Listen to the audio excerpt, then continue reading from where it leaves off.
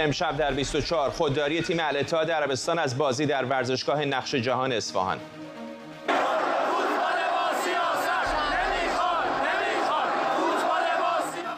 وجود مجسمه قاسم سلیمانی دلیل ترک ورزشگاه از سوی تیم عربستانی خوانده شده. برگزاری دادگاه اتهامات مربوط به فریبکاری مالی دونالد ترامپ از ساعتی پیش پرونده رئیس جمهوری سابق آمریکا شاید به قیمت از دست دادن کنترل برج معروفش در نیویورک ختم بشه. بررسی های امنیتی توافق احتمالی اسرائیل و عربستان. تایمز اسرائیل میگه ارتش تحقیقات گسترده ای رو برای بررسی خطرات برنامه هسته‌ای عربستان برای اسرائیل شروع کرده.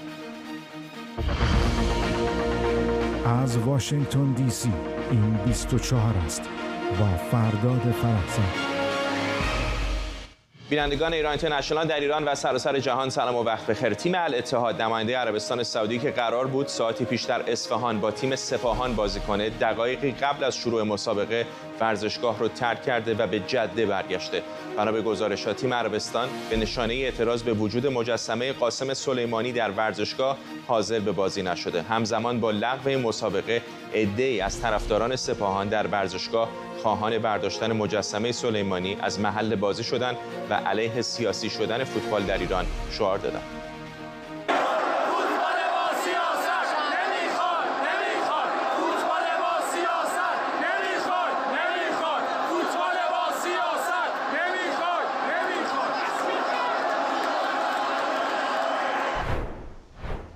امید معماریان روزنامه‌نگار و تحلیلگر سیاسی اینجا در استودیو با ماست و همینطور همکارم مزدک میرزایی از لندن به ما پیوسته با مزدک شروع می‌کنم. مزدک دقیقا داستان چیه؟ آیا همونطور که گفته میشه مجسمه قاسم سلیمانی باعث ترک تیم سعودی ها شده؟ خب فردا سال هاست که ما می‌دونیم که در میادین ورزشی جمهوری اسلامی سعی می‌کنه که عکس های رهبران جمهوری اسلامی رو در مسابقات مختلف به دست بازیکنها بده به داخل زمین ببره. الان مدتی که می‌بینیم که رو آوردن به مجسمه سازی در ورزشگاه. خب ما بارها و بارها در همه جای دنیا دیدیم که اگر یه شخصی حتی ورزشی مثلا زمین ورزشی باشگاه آرسنال ورزشگاه امارات اسطوره هاشون اگر هستن مجسمه‌شون هست بیرون ورزشگاهه. چه برسه به اینکه یک شخصی که اصلا هیچ ارتباطی به فوتبال و ورزش نداره و شما میایید مجسمه اون رو کنار زمین طوری نصب می‌کنید که جدا هم نشه. الان طبق گفته باشگاه سپاهان سه سال است که از دیما سال 99 این مجسمه اونجا نصب شده و جابجا هم نشده. و جالبه که استناد کردن به این نکته که بارها مسابقات ورزشی اینجا برگزار شده بین المللی. کدوم مسابقه بین اونجا برگزار شده؟ این اولین مسابقه ای بوده که به شکل بین المللی در سطح AFC داشته اونجا برگزار می شده و خب طبق پروتکل های ورزشی هیچ گونه نمادی از سیاست نباید در میادین ورزشی باشه و اونا استناد کردن به همین موضوع و ورزشگاه رو ترک کردن. فکر کنم حق با این تصمیمشو این تصمیمشو کی می‌تونه بگیره؟ آیا تیم عربستان؟ مسئله AFC اونجا اونجا ناظر AFC وجود داره. خب ناظر AFC کل در واقع اون اتفاقاتی اونجا افتاده رو یادش برداری کرده. در اختیار کمیسیون های مربوطه قرار خواهد داد و اونجا راجبش تصمیم گیری میشه. یه گوشه هم بزنیم به حضور زنان در ورزشگاه که طبق روال همه جای دنیا نیست. مثل همیشه ما متفاوت هستیم. اجازه دادن در لحظات آخر که زنها وارد ورزشگاه بشن. و بعد ما دیدیم که ویدیوهایی اومده که منت هم می‌ذارن سرشون که طبق اون چیزی که قبلا گفته شده فقط 200 نفر گزینشی قراره که بیان. ما حالا شما راه دارین تو پس بنابراین باید اون چیزی که ما میگیم عمل بکنید. همه اینا نشون دهنده اینه که واقعا لیاقت برگزاری مسابقات فوتبال در سطح بین‌المللی جمهوری اسلامی نداره. هفته گذشته تو هفته پیش بود که دیدیم چه اتفاقاتی توی ورزشگاه آزادی افتاد. قبل از اون استقبال از رونالدو بود. این هفته حالا این ماجرا و مطمئن باشید که این اتفاقات همیشه خواهد افتاد به خاطر اینکه جمهوری اسلامی می‌خواد سیاست رو با فوتبال ادغام بکنه. چیزی که واقعا در هیچ کجای دنیا نمی‌بینید. هیچ ورزشگاهی در کره نمی‌دونم در ژاپن در اروپا شما می‌بینید که عکس مقامات اون بالا باشه. الان ورزشگاه آزادی سالها سالهاست که اون عکس اون بالا هست و کسی توجه نمی‌کنه. فکر کنم که الان موقعشه که AFC راجع به این موضوعات تصمیمات جدیتری بگیره. ظاهرا همین آمدن تیم های سعودی به ایران هم بی سر نبوده. کلی لابیگری شده تا اونها رو متقاعد بکنن که به ایران بیان. بله خب این اتفاقاتی که ماهای گذشته افتاد باعث شد که یه مقدار روابط صمیمانه‌تر بشه. البته فراموش هم نکنیم که مقامات دو کشور که با هم دیدار کردن بازم اون عکس قاسم سلیمانی بود که باعث شد مکان برگزاری اون در واقع اجلاس یا حالا دیدار عوض بشه و به سالن دیگه منتقل بشه. و اینا همه نشون میده که جمهوری اسلامی نمی‌خواد که فوتبال رو فقط به شکل یه ورزش ببینه و می‌خواد همه چیز رو قاطی هم بکنه و متاسفانه مسئولای باشگاه سپاهان هم برای اینکه همچنان بر مسند امور باشن روی سبقت رو از دیگر در واقع باشگاه ها رو بودن و اومدن یه جوری اون مجسمه رو اونجا نصب کردن که هیچ جوری نشه جداش کرد یعنی نیم ساعت هم فرصت داده مسئول مسئول باشگاه الاتحاد نیم ساعت هم فرصت دادن که اینو جابجاش کنن و اونا گفتن که ما نمی‌تونیم این کارو بکنیم و شاید مثلا نخواستن این کارو بکنن. چون به حال براشون افت داشته و هر چیزی که هست من فقط اینو بگم که این موارد به AFC انتقال داده میشه و کمیسیون های مربوطه در موردش تصمیم گیری می‌کنن. مزدک اگر درست متوجه شده باشم اگر به درخواست AFC این اتفاق افتاده باشه و تیم سعودی با چراغ سبز اونها در زمین حاضر نشده باشه عملا سه امتیاز هم متعلق میشه به تیم عربستان درسته؟ به احتمال بسیار زیاد به احتمال بسیار زیاد به خاطر داور وارد زمین نشده و بازی اصلا شروع نشده به خاطر مسائل مختلفی که در ارتباط با فوتبال نبوده من فکر می‌کنم که در نهایت بازی سه بر سه به تیم عربستانی اعلام بشه ممنونم از تو. مزدک میرزای همکارم از لندن با ما. اجازه بازی سپاهان و اتحاد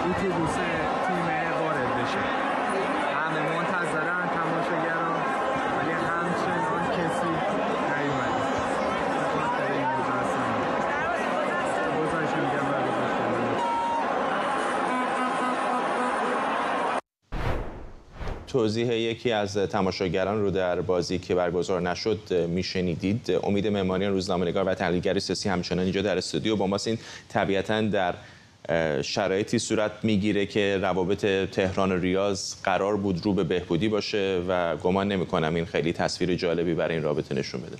قطعا همینطور هست و مقامات سعودی و سعودی ها به طور کلی نشون دادن که در خصوص این موارد عقب نشینی نمی کنن کما اینکه وزیر امور خارجهشون وقتی که کنفرانس خبری داشت با مقامات ایرانی و وزیر خارجه ایران وقتی که عکس قاسم سلیمانی در سالن بود سالن رو ترک کرد. گفت من اینجا کنفرانس خبری نمی‌ذارم و مجبور شدن که سالن رو عوض بکنن. و من نمی‌دونم واقعا مقامات جمهوری اسلامی باید چقدر تحقیر بشن باید چقدر از مردم ایران تو دهنی بخورن که متوجه بشن که این فوتبال یا کشتی یا شطرنج یا چیزهای دیگه ورزش ایران رو سیاسی نکنن. این متعارف نیست. این با قواعد بین‌المللی در مقایرت هستش. این سازمان ملل نیست که ابراهیم رئیسی مثل یک سیرکی بره اونجا از توی جیبش هی به چیزای مختلفی که عکس سلیمانی بالا بکنه براش تبعات نشه باشه. در فوتبال در ورزش تبعات داره سیاسی کردن فوت ورزش تبعات داره و اون کسی که تبع... هزینه‌شو میده مردم ایران هستن. 60 هزار نفر با عشق و علاقه بلند میشن میرن ورزشگاه سپاهان که فوتبال ببینن.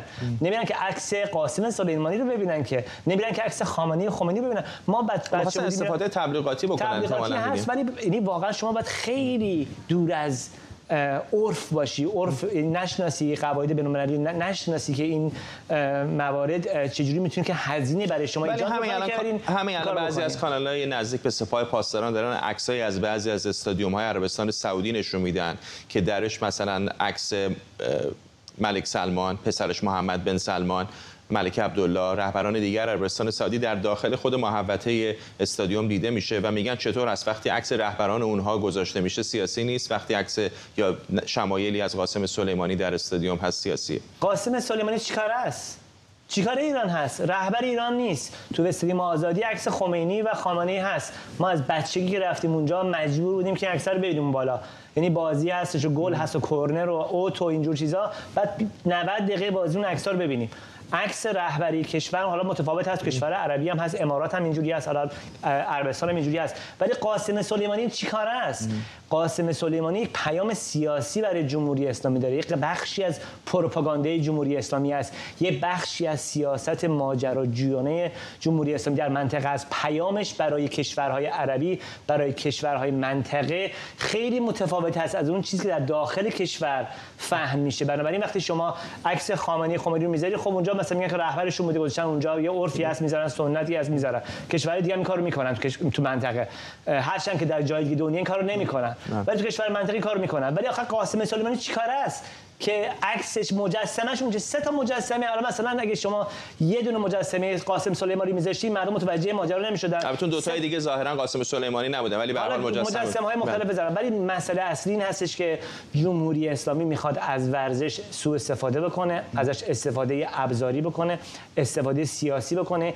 اونو یک بخشی از دستگاه تبلیغاتی خودش می‌دونه برای اینکه اون ایدئولوژی خودش رو در منطقه گسترش بده یا به جهانیان نشون بده پرو بازی در بیاره. به قول معروف و از این جهت حالا کشور دیگه هستن که میان اونجا و وای میسن روز قبلش هم میان نگاه می‌کنن گزارش میدن و تصمیم می‌گیرن که روز مسابقه دقیقه مسابقه از زمین خارج بشن و این هزینه رو تامین می‌کنن به جمهوری اسلامی و این هزینه ای هست که جمهوری اسلامی ایران به مردم ایران تامین می‌کنه به ملت ایران تامین می‌کنه و تحقیری هستش که واقعا برای فوتبال ایران هست. چون که وقتی که شما در همین آمریکا نگاه می‌کنید اروپا نگاه می‌کنید در ژاپن نگاه می‌کنید در برزیل نگاه می‌کنید این کارها اصلا قابل فهم نیست متعارف نیست این کارها رو بکنن. و مقامات جمهوری اسلامی اینو به ایران به مردم ایران تحمیل می‌کنن. نمی‌خوام از خبر جلو بزنم و بیشتر از اونی که هست بزرگش بکنم یا پیش بینی بکنم ولی بالاخره مش نمونه خربار هست که چقدر فکر می‌کنی این که در زمین بازی در اولین بازی هایی که بالاخره بین تیم های ایرانی و عربستانی در داخل خاک ایران داره برگزار میشه نتونستن به یک تعاملی برسن چقدر خود توافق بزرگتر ایران عربستان نشون میده که می‌تونه شکننده باشه؟ به هر حال شکننده هستش. جمهوری اسلامی در نقطه ضعف خودش قرار داره. اهرم های فشار خودش در طی سالهای گذشته از دست داده. بنابراین کشورهای منطقی کشورهایی که به حال باش مراوده دارن و در راستای یک به حال همزیستی یا توافق پیش میرن دست بالاتر دارن.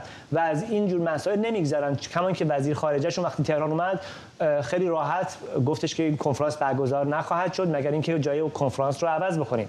بنابراین دست بالاتر رو دارن و جمهوری اسلامی در موقعیت ضعیفتر هست. ولی این رو نمی‌خوام بپذیرن. حداقل می‌خوام با صورتشون با سیری سرخ بکنن در داخل کشور. بگن که ما همچنین قدرت منطقی هستیم قدرت جهانی هستیم قدرت علمی جهان هستیم نمی‌دونم نفر پنجم هستیم ششم هستیم تو دنیا. ولی این چیزی نیستش که واقعیت ماجرا باشه. واقعیت ماجرا این هستش طرف میاد تهران میگه من اینجا کنفرانس خبری برگزار نمی‌کنم مجبور میشم اتاق عوض بکنن. تو ورزشگاه سپاهان طرف میاد وسط بازی 60 هزار نفر تو استادیوم نشستن. اون متوجه مسئله هستن دیگه. میگه که من بازی نمی‌کنم به خاطر اینکه شما این سیاسی نمادهای سیاسی گذاشتین اینجا. بنابراین نشون دهنده این هستش که حالا مشخص نیست. مثلا اگه تیم ژاپنی بود چه واکنشی نشون می‌داد؟ یا تیم مثلا اندونزیایی بود چه ولی به هر حال کشورهای دیگه که عربستان این تصمیم گرفته که من بازی رو برگزار نمی‌کنم به خاطر این سمبل سیاسی. آیا مطابق با قوانین فدراسیون فوتبال آسیا هست؟ باید دید. باید تصمیم می‌گیرن. آیا بازی سه هیچ خواهد شد؟ باید چه خواهد شد. ولی در مجموع همین که اصلا این بحث ایجاد بشه و اینکه خود موضوع قاسم سلیمانی یه مسئله بشه که مردم داد بزنن فریاد بزنن در هزاران تنشون که ما فوتبال سیاسی نمی‌خوایم. رضا شاه رو شاد و شعارهای سیاسی بدن نشون میده که جمهوری اسلامی باخته این مسئله رو. یعنی شما یه مسئله رو با تبلیغاتی استفاده بکنی ضد خودش تبدیل میشه و آبرود میره یعنی اون تحقیری که ما امروز دیدیم واقعا هم تحقیر ملی بود هم تحقیر منطقه‌ای بود و اگر به گوش کشور دیگه هم برسه یعنی بخوام گزارش کنم واقعا تحقیر بین‌المللی هست. مطمئنا اف سی بالاخره بررسی خواهد کرد آن چی که امروز در زمین اتفاق افتاد رو. دیگه چقدر به نظرت می‌تونه هزینه سنگینی داشته باشه برای فوتبال ایران؟ به خصوص که در حاشیه‌اش هم ویدیوهای منتشر شده که به نظر میاد مقامات دارن به کسانی که زنانی که در مسابقات سعی کردن شرکت بکنن میگن که قرار نبود شما بیاید قرار بود 200 نفر فقط انتخاب شده بیان در وسط زمین. یعنی مجموعه ای از اتفاقاتی افتاده که به نظر نمیاد خیلی وجه خوبی نشون بده از فوتبال ایران. قطعا همینطور هست. مجموعه اتفاقاتی که افتاده حساسیت های زیادی ایجاد می‌کنه. اون چیزی که در مورد زنان اتفاق افتاد حساسیت زیادی ایجاد می‌کنه. این ویدیوها رو می‌بینن گزارش های نمایندگانشون در داخل زمین می‌بینن. اگر اون چیزی نباشه که مقامات جمهوری اسلامی مقامات فدراسیون فوتبال وعده داده بودن و مطابق قوانین فدراسیون فوتبال آسیا هستش قطعا قطعا براشون تبعات خواهد داشت. موضوع سیاسی کردن و استفاده از نمادهای سیاسی در ورزش که باعث شده که باشگاه ارتباط زمین ترک کنه. اگر این مسئله درست باشه دقیق باشه اگر یک به حال زمینی داشته باشه برای تنبیه تیم سپاهان تنبیه خواهد شد بازی سریش خواهد شد. بنابراین مجموعه صرف نظر از قسمت تبلیغاتیش و اون مسائلی که مطرح کردیم از نظر تاثیر عمل تاثیر عملش رو فوتبال ایران قطعا تبعاتی رو خواهد داشت و یه مسئله هستش که ما بعدا خواهیم چون که بخاطر تیم‌های دیگه هم ایران خواهد اومد. آیا دیدیم که بازی بعدی هم تیم سپاهان اون مجسمه سردار سلیمانی رو نگه می‌داره؟ بعد اینو دید. در شهرهای دیگه که مثلا نمادهای سیاسی سیاسی استفاده می‌کنن کسی هم می‌خواد برداره احتمالاً جرئت نمی‌کنه. هر کی می‌خواد بده به مقام بالاتر احتمالاً تا خود بیت باید بره فکر کنم تا همچین تصمیم بله، بگیرم. بله. ممنونم از شما. امید معماریان روزنامه‌نگار اینجا در استودیو با ما. تایمز اسرائیل نوشته ارتش این کشور پیامدهای امنیتی توافق احتمالی عادی سازی روابط با عربستان سعودی رو بررسی می‌کنه. این گزارش میگه ارتش اسرائیل تحقیقات گسترده ای رو شروع کرده تا پیامدهای نظامی توافق احتمالی با عربستان و خطرات برنامه هسته ریاض رو آنالیز کنه همزمان عربستان از آمریکا خواسته که به توسعه برنامه هسته ایش به عنوان بخشی از شرایط عادی سازی روابط با اسرائیل موافقت کنه همینطور گزارش شده که سعودی ها به دنبال دسترسی به فناوری های دفاعی پیشرفته آمریکایی هم هستند. بن سبتی پژوهشگر مسائل ایران و اسرائیل در مؤسسه INSS از تلاویو با مساق بن سبتی چقدر فکر می‌کنید که این بلند پروازی های هسته سعودی می‌تونه مانع توافق احتمالی این کشور با اسرائیل بشه. با سلام و شب خیر به شما و بینندگان. اولا من شخصا خیلی خوشحالم که ما این صحبت رو داریم بعد از این موضوع فوتبال و بازی که اتفاق افتاد و یا اتفاق نیفتاد بین عربستان و تیم ایران. چون این به خوبی نشون میده و ربط داره به موضوعی که ما الان داریم صحبت می‌کنیم. هر چقدر که این وضعی که بین ایران و عربستان به وجود اومده این صلح عجیب نشون میده که چقدر شکننده است. به همون مقدار اسرائیل و سعودی به نظر میاد که نزدیک و نزدیکتر میشن و موانعی که در راهشون هست رو اینجور که معلومه دولت اسرائیل حداقل از طرف خودش می‌خواد از راه برداره. و به همین خاطر بر اساس همین گزارش این موضوعات رو رئیس دولت اسرائیل آقای نتانیاهو داده به دست ستاد ارتش اسرائیل به دست موساد و غیره که بررسی کنن بازرسی کنن ببینن تا چه حد میشه در این موضوعات بسیار حساس که واقعا سابقه نداره که اسرائیل کسی رو شریک این موضوعات خودش بدونه. موضوعات اتمی موضوعات سلاحایی که به بیشتر کشورها فروخته نمیشه. و این نشون میده که تا چه حد اسرائیل حاضر به نرمش و انعطاف و پیش بره به این موضوعات که این موانع از سر راه این روابط برداشته بشه. همین موضوعات که فقط در داخل روزنامه ها هم میاد و دربارش صحبت میشه این خودش نشون میده که ممکنه که پیشرفت حتی چند قدم بیشتر هست از اونجایی که ما می‌دونیم. چون خیلی وقتها یه موضوعی به روزنامه می‌رسه دیگه در واقع تموم شده هست و ما الان شاید اثراتش رو داریم می‌بینیم. پس این رو هم باید در نظر بگیریم. آقای سفتی اگر به یاد داشته باشید که حتما به یاد دارید چند سال پیش بالاخره این بحث مطرح بود که اگر ایران هسته‌ای بشه یا به سوی سلاح هسته‌ای بره این خطر وجود داره که منطقه وارد رقابت تسلیحاتی میشه. چقدر فکر می‌کنید که الان اون نگرانی ها در واقع داره جامعه عمل بهش پوشیده میشه و کشورها آرام آرام در منطقه دارن به دنبال یک تدافع هسته‌ای در صورت هسته شدن ایران میرن؟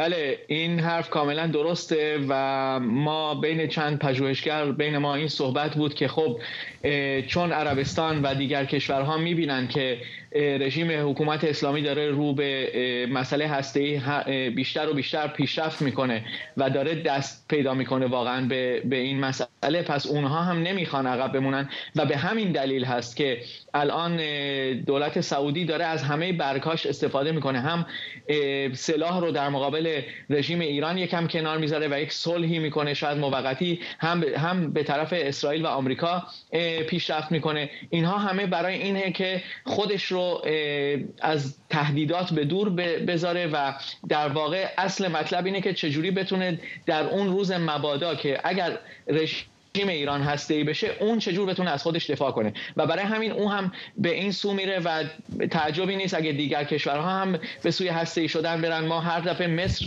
در سالهای قدیم میشنویدیم که هر سال می‌گفته که ما می‌خوایم هسته ای بشیم ولی در چند سال اخیر صداش خیلی بالاتر رفته در این مورد. و هیچ تعجبی نیست اگه ما ببینیم کشورهای دیگری هم به سوی هسته ای شدن و این رقابت پیش برن. ممنونم از شما. بن سبتی پژوهشگر مسائل ایران و اسرائیل از تلاویف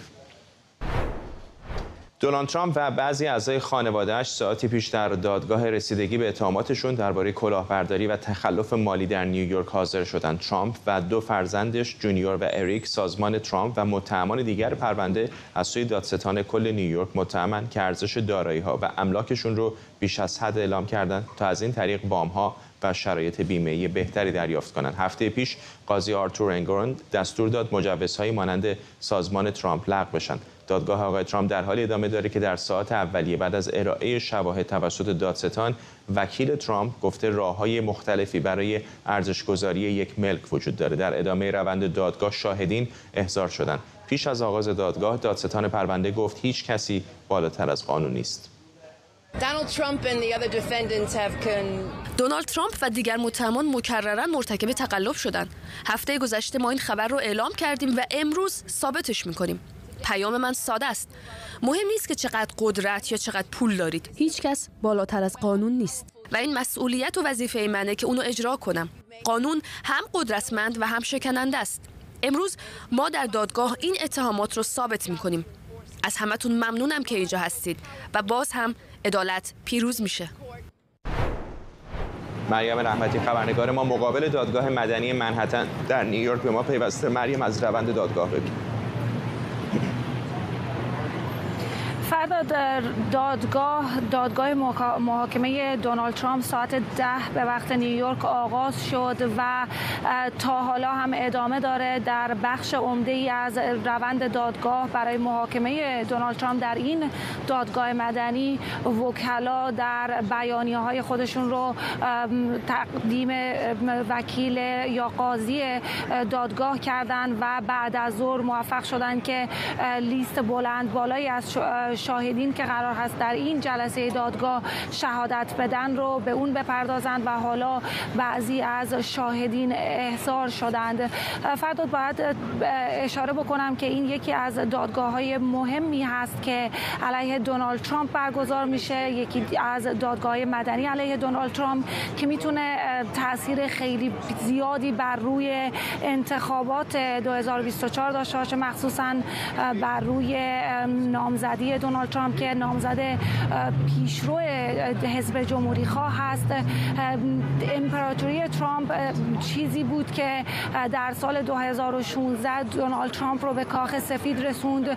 بخش مهمی از کارزار انتخاباتی دونالد ترامپ در سال 2016 متمرکز شده بود به موفقیت او در زمینه تجارت و این موضوع دوباره می‌تونه تاثیر بذاره برای رسیدن دونالد ترامپ رسیدن دوباره دونالد ترامپ به کاخ سفید. باید اشاره بکنم که امروز دونالد ترامپ با اخیر در این جلسه دادگاه حاضر شد و در چند قدمی دادستان کل نیویورک لتیشیان جیمز نشسته بود. کسی که دونالد ترامپ قبل از ورود به جلسه دادگاه او رو به نجات پرستی متهم کرد و گفت که این پرونده ای است از سوی دادستان کل نیویورک برای خدشه‌دار کردن تصویر انتخاباتی دونالد ترامپ و بعد از اینکه دونالد ترامپ جلسه دادگاه رو برای وقفه نهار ترک کرد دوباره رو خطاب به خبرنگاران گفت که این دادگاه سرعت بخشیده شده از سوی وزارت دادگستری در واشنگتن دی سی تا در میانه کمپین انتخاباتی دونالد ترامپ برگزار بشه و دوباره متهم کرد دولت بایدن و وزارت دادگستری رو برای دخالت در انتخابات ریاست جمهوری. باید اشاره بکنم که این پرونده پرونده علیه دونالد ترامپ در سالهای گذشته در سه سال گذشته ادامه داشته. تحقیقات لتیشا جیمز دادستان کل در سه سال گذشته ادامه داشته و اتهامات علیه او در ماه سپتامبر سال 2022 مطرح شده.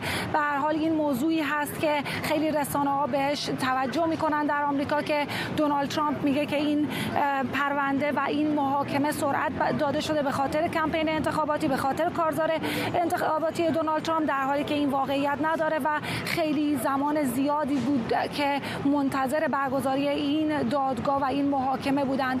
باید بگم که این یک دادگاه مدنی هستش و همچنین در این دادگاه هیئت جوری وجود نخواهد داشت. قاضی خواهد بود که تمام تصمیمات رو اتخاذ خواهد کرد و تصمیم خواهد گرفت که دونالد ترامپ رو متهم بشماره یا نه. و این یکی از موضوعات دیگری هست که این پرونده رو به شدت شکننده می‌کنه برای دونالد ترامپ که حتی امکان داره که دونالد ترامپ امپراتوری خودش رو از دست بده.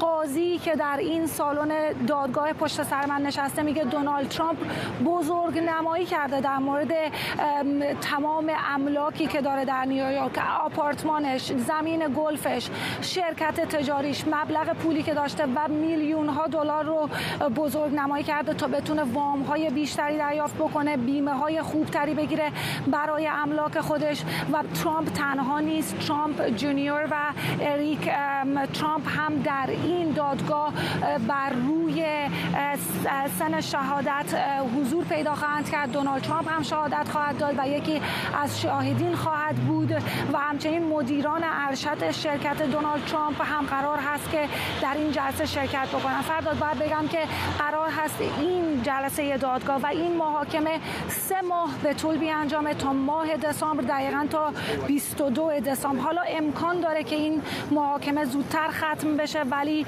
به حال محاکمه طولانی خواهد بود. امروز نیازی به حضور دونالد ترامپ نبود ولی به نظر می‌رسه دونالد ترامپ از این فرصت استفاده کرده تا در این دادگاه حاضر بشه در مقابل خبرنگاران حاضر بشه و بتونه کارزار انتخاباتی خودش رو به نحوی به اینجا منتقل بکنه. همونطور که به نظر می‌رسه همین حالا کمک های زیادی برای کمپین انتخاباتی خودش جمع کرده و قرار هست فردا هم دونالد ترامپ در همین دادگاه پشت سر من دوباره حاضر بشه که به گفته خودش دوباره بتونه با قاضی دادگاه چشم در چشم بشه برای این محاکمه. مریم رحمتی ممنونم از تو. مریم رحمتی مقابل دادگاه مدنی منحتن در نیویورک که تصاویر زنده اون رو هم در سمت چپ تصویر دارید می‌بینید. در آلمان نمایشگاه بین‌المللی کتاب فرانکفورت میگه برای دومین سال درخواست مقامات جمهوری اسلامی برای حضور در این رویداد رو رد کرده. نرگس اسکندری گرونبرگ شهردار ایرانی تبار فرانکفورت به ایران اینترنشنال گفته منع حضور جمهوری اسلامی در این نمایشگاه تصمیم برگزار کنندگان او بوده. در همین حال اما معاون امور فرهنگی وزارت ارشاد گفته این تصمیم جمهوری اسلامی بوده که در نمایشگاه شرکت نکنه یاسر احمدوند گفته پارسال مسئولان نمایشگاه فرانکفورت قرفه ایران رو به یکی از سالن‌های فرعی انتقال دادن که به گفته او در شعن نمایندگان ایران نبوده. همکارم احمد سمدی در برلین تا لحظات دیگه به ما میپیونده تا در این باره بیشتر صحبت بکنیم. احمد به نظر میاد که ارتباطمون برقرار شد. دقیقا چه می‌دونیم؟ آیا طرف آلمانی بوده یا طرف ایرانی بوده که این حضور رو لغو کرده. فردا ببین باید برگردیم به سال گذشته وقتی که خیزش انقلابی در ایران شروع شد. خب مردم در واقع افکار عمومی در آلمان انتظار داشت از مقامات این کشور که خب رفتار دیگه رو با جمهوری اسلامی داشته باشن. و خب در واقع مسئله نمایشگاه بین فرانکفورت هم چیزی نیستش که بگیم به دولت مربوط میشه و در واقع بخش خصوصی هستش که رو برگزار می‌کنه. و در همون موقع بود که شهردار فرانکفورت خانم نرگس اسکندری با صحبت هایی که کرده بود با هیئت مدیره نمایشگاه بین فرانکفورت اونها رو قانع کرده بود که به نوعی مانع از حضور جمهوری اسلامی در نمایشگاه سال گذشته بشن که خب این اتفاق افتاد. امسال هم با توجه به اینکه خب زمان سررسید ثبت نام در این نمایشگاه تا ماه می بود خب شرایط به گونه بود که مقامات آلمان و همچنین مقامات نمایشگاه فرانکفورت نمی‌خواستن که مجددا جمهوری اسلامی با توجه به اقداماتی که در یک سال گذشته انجام داده و همچنان هم داره ادامه میده خب حضورشون در این نمایشگاه باشه و بر همین اساس هم در واقع تصمیم گرفته میشه که به نوعی رد بکنن درخواست هایی که جمهوری اسلامی مطرح کرده بود و اونطور که خانم اسکندری من باهاش صحبت کردم و اشاره داشت. به این گفت در هیئت مدیره نمایشگاه بین فرانکفورت این تصمیم گرفته شد با توجه به سرکوب هایی که جمهوری اسلامی همچنان داره ادامه میده به ویژه علیه زنان تبعیضی که داره انجام میشه بازداشت هایی که انجام میشه خبرنگاران رو بازداشت می‌کنن سینماگران رو بازداشت می‌کنن کتاب فروشی ها و حتی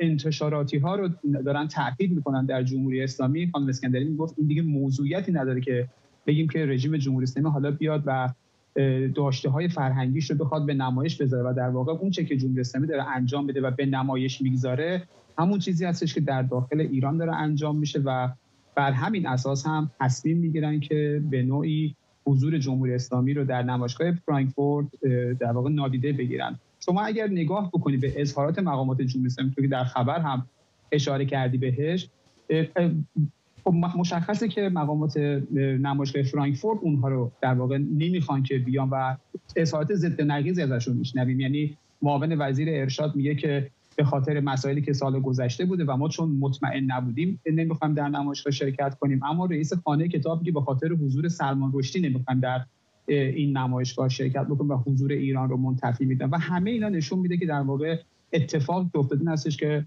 طرف آلمانی یعنی نمایشگاه بین‌المللی فرانکفورت یکی از بزرگترین رویدادهای فرهنگی جهان هست چه به لحاظ کسانی که من این نمایشگاه رو می‌بینن چه به لحاظ میزان کتابی که در واقع به نمایش گذاشته میشه بزرگترین رویداد فرهنگی و کتاب دنیا میشه و خب تصمیم گرفته شده که مقامات جمهوری اسلامی رو به این نمایشگاه راه ندن. ممنونم از تو احمد سمدی همکارم از برلین آلمان.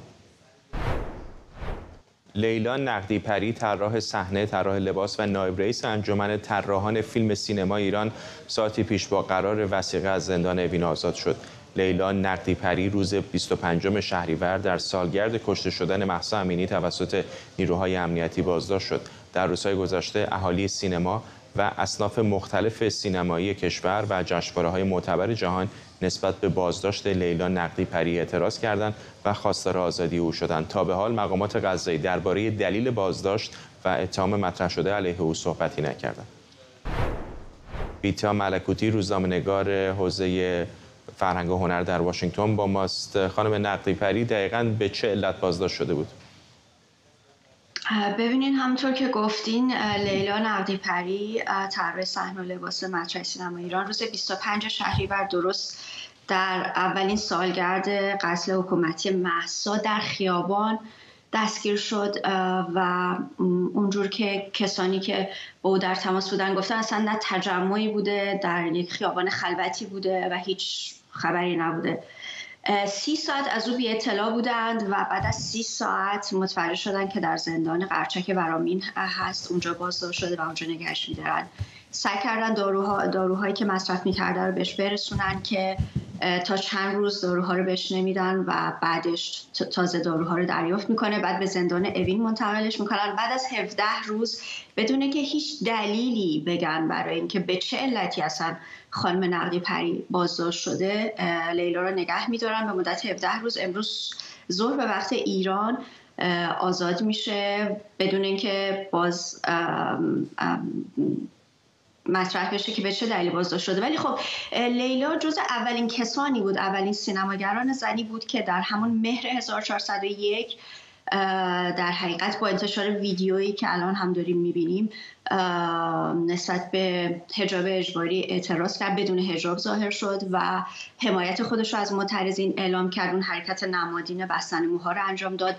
چند پست گذاشت که بدون هجاب بودن در شبکه های اجتماعی بدون هجاب در مکانهای عمومی ظاهر شد و بعد یه ویدیو منتشر کرد و در اون ویدیو گفت که ذکر کرد که دخترک جانباز هست و با این همه انتقاد داره به شرایط امروز ایران شرایطی که الان بر سینمای ایران حاکمه و اتفاقات فجایعی که در یک سال واکنشات چی بوده به بازداشتش؟ ببینین الان می‌خوام بگم که اصلا سینمای ایران به دو جهان تقسیم شده. یک گروه هستن که با دیدن این جنایاتی که رخ داده همکاریشون رو قطع کردن با بدنه سینما ایران. در فیلمی شرکت نمی‌کنن بازی نمی‌کنن یا فیلمی نمی‌سازند حضور ندارند مگر اینکه در سینمای مستقل باشه سینمای زیرزمینی باشه. و هیچ گونه در حقیقت در اعتراض به این شرایط هیچ گونه همکاری نمی‌کنن با وزارت ارشاد و اینا. اما یک گروه هم هستن که اصلا انگار نه انگار اتفاقی افتاده. الان شما ببینید در همین جشن حافظ که برگزار شد دقیقا در سالگرد جمعه خونین زاهدان که در سال گذشته صدها زن و مرد و کودک و جوان کشته شدن اینها در جشنی شرکت کردن و نه تنها در این جشن که اصلا خود این کلمه واقعا مورد بحث هست که چه جشنی در سالگرد چنین جمعه خونینی. بلکه هیچ صحبتی نکردن یعنی هیچ حمایتی نکردن. نه از این همه خونه ریخته شده نه از همین فجایع صحبت کردن و نه تنها و حتی از همکاران خودشون هیچ دفاعی نکردن هیچ صحبتی نکردن. من هیچ جا نخوندم نشیدم که حتی یک نفرشون در مورد لیلا نقدی پری که تا اون زمان در زندان بود بدون هیچ دلیلی بیاد صحبت کنه. یعنی یک عده اومدن این وسط وایستادن در حالی که دیدیم بسیاری از سینماگرها از جمله محمد رسولوف، جعفر پناهی، محمود آل احمد، حامد رجبی و بسیاری دیگه چه حاضر شدن پشت درهای زندان چه برای آزادیش آمدند برای آزادی لیلا و یا اینکه خیلی ها توی شبکه های اجتماعی تو صفحاتشون نوشتن. اما یک عده همچنان در وسط ایستادن در حالی که زمان در وسط ایستادن واقعا گذشته در این برهه حساس تاریخی. ممنونم. بیتا ملکوتی روزنامه‌نگار در واشنگتن. واکنش ها به تولید دارویی که با شبیه سازی ورزش در سلول های بدن باعث لاغری میشه همچنان ادامه داره و عده‌ای به عوارض طولانی مدت اون ابراز نگرانی کردن. پژوهشگران میگن این دارو می‌تونه حس ورزش رو به بافت های بدن القا کنه و متابولیزم رو بیشتر کنه. این دارو از دست داروهایی که به شبیه سازی ورزش شهرت دارن و بدون کم کردن اشتها یا افزایش فعالیت سوخت و ساز بدن رو مثل زمانی که فعالیت ورزشی انجام میشه فعال می‌کنن. پوریا نازمی روزنامه‌نگار علمی از اتاوا با ماست. آقای نازمی از اون خبرهای زرد میشه جدی گرفته. چقدر واقعا به نظرتون چیزی است که ممکنه روزی در غرفه های داروخانه ببینیمش؟ خب به به نظر میسه یکی از اون چیزای قدیمیه دیگه. ما بچه که بودیم دوست داشتیم که دو تا قرص باشه یکی اون قرصایی که بخوریم هر چیزی که اطلاعات لازمه رو به دست بگیریم. یکی هم که خب لاغر بشیم بخصوص افرادی مثل من که اضافه وزن دارن خب طبیعتا خوشحال میشن. ولی واقعیتش اینه که اولا این تحقیق در مورد این داروی خاص صرفا روی موشها انجام شده. یه ضرب المثل معروفی وجود داره که معمولا تحقیقی که روی موشها انجام میشه خیلی جدیش نگیریم تا زمانی که وارد فاز پیچیده تر بشه. 90 درصدشون معمولا نمی‌تونن تطبیق پیدا کنن در آینده. و خب از از طرفی به خاطر که به مسئله مهمی اشاره داره در واقع داره رو یک فضا و یک محیطی رو که بحث راجبش وجود داره اشاره گرفته. می‌دونیم که اضافه وزن و اوبیسیتی مسئله در واقع ظاهر نیست مسئله زیبایی شناختی نیستش. اضافه وزن بیش از حد و اوبیسیتی در واقع عامل اصلی بیماری های قلب و عروق هست که عامل اصلی مرگ و میر در جهان هست. نقش فوق العاده موثری در انواع سرطان ها داره. بیماری های قندی بیماری های کبدی و و و یک مجموعه یعنی به نوعی یک چتر عظیمیه که انبوهی بیماری رو می‌تونه تسریع بکنه. برای همین تلاش برای در واقع مقابله با اون هم هم از جهت سبک زندگی بخش مهمیه هم از جهت دارویی و درمانی. توی ماهای اخیر شما شاهد بودید که داروهایی که به شکل مشابه هستن البته در این مورد متفاوت هست به خاطر که این سبکی هستش که سعی می‌کنه عملکرد ورزش رو در بدن شبیه سازی بکنه. یعنی اینکه شما بخوردن این قرص در واقع بخشای مواد شیمیایی آزاد بشه که در واقع در هنگام ورزش مثلا و زمانی که آیروبیک انجام میدین در واقع آزاد بشه. اما نسل گروه دیگه هم هستش که با هدف گرفتن حس اشتها در واقع می‌تونه معروف ترینش الان دارویی هست به نام اوزمپیک. که بله فوق العاده بازار عجیب غریبی پیدا کرده و و تقریبا هم شبیه به معجزه در خیلی موارد از بین نزدیکان هم دیدیم داره عمل می‌کنه. ولی به نظر میاد تفاوت فاحشی که این با مثلا اوزمپیک و داروهای دیگری که شبیه به اوزمپیک هستن دارن اینه که فقط موضوع قند خون و اشتها و اینها نیست. به نظر میاد که در لول سلولی این توهم رو دست کم برای سلولها به وجود میاره که دارن ورزش می‌کنن. کاملا درسته. یعنی که مسئله اوزمپیک سواس. حالا بماند اینکه ما هنوز در مورد اون هم یه مقدار شک داریم به خاطر که اثرات دراز مدتش رو نمی‌دونیم. اما این دسته از داروها به قول شما به نوعی سلول رو فریب میدن یا اینکه شبیه سازی می‌کنن. شاید نه فریب درست نمیشه شبیه سازی می‌کنن حالت ورزش رو. نکته مهم اینه که این دسته از داروها فعلا توی آزمایش های انسانی نبودن فعالیت نکردن. و یک نگرانی دیگه هم شاید بحث زود هنگام ازش وجود داشته باشه و اون که به افرادی مثل من مثلا بگه که شما لازمی سبک زندگیتون رو تغییر بدین قرص می‌خوریم خوب میشه. در حالی که بعد تا زمانی که چنین داروهایی تایید بشن اگر تایید بشن وارد بازار بشن این برای شرایطی هستش که در واقع ما به طور طبیعی نمی‌تونیم. مثل زمانی میمونه که ما یه ویتامین اضافه می‌خوریم یا اینکه ویتامین اون از منابع هرم غذایی تامین می‌کنیم. هر دوتاش ویتامین رو شما دریافت می‌کنید. اما یکیش در یه ساختار در هم پیچیده ایه که یک مجموعه رو در واقع تحت تاثیر قرار بده بنابراین توصیه به افرادی مثل خودم اینه که تا اون موقع ورزش کنیم و در واقع رژیم غذایی رو کنترل بکنیم. اگر زمانی اومدش خب ادامه استقبال می‌کنه اگر نتایج و عوارضی نداشته باشه. ولی فعلا بهش امید نبندید در طولانی مدت چه؟ الان تهیه کننده برنامه تو گوشم میگه آقای نازمی همش روحی آدمو خراب می‌کنه. و همه خیلی امیدوار شدن که شاید این دارو بتونه کاری بکنه. در طولانی مدت چقدر میشه بهش امیدوار بود؟ بله در دراز مدت این سبک در واقع روش های مختلفی وجود داره که به این مسئله پرداخته بشه. یکیش چنین داروهایی که عمل کرد در واقع مغز و سلول ما رو باور میرسونه که ورزش کردن و همون اثر رو باز تولید می‌کنه. اما گونه های دیگه از مداخلات هم وجود داره. برای مثال اگر بحث در اصلاح ژنتیک پیش بره دستاوردهایی که برای مثال با توسعه کریسپر و امثال اون ابزارهای دیگه ویرایش ژنی داریم اون موقع شما ممکنه بتونید برای کسایی که در واقع در بردارنده ژنهایی هستند که کمک می‌کنه به اضافه وزن اون رو غیر فعال بکنیم. یا برای مثال بافت عضلانی رو با کمک دستکاری ژنتیکی تقویت بکنیم و در واقع جرم توده ازولانی رو بیشتر بکنیم. بنابراین صرفا بخش دارویی نیست و از روش های مختلفی دارم. میان نکته خیلی مهم اینه که به هر حال همونطور که اول گفتم بحث اضافه وزن فوق العاده بحث مهمیه به نوعی چتری که انبوهی بیماری رو زیر خودش ترغیب کنه ممنونم از شما. یا نازمی روزنامه‌نگار علمی از اتاوا کانادا. و ممنونم از شما که ما رو در این برنامه 24 همراهی کردید. برنامه رو با تصاویری زنده از بیرون دادگاه دونالد ترامپ در نیویورک به پایان می‌بریم.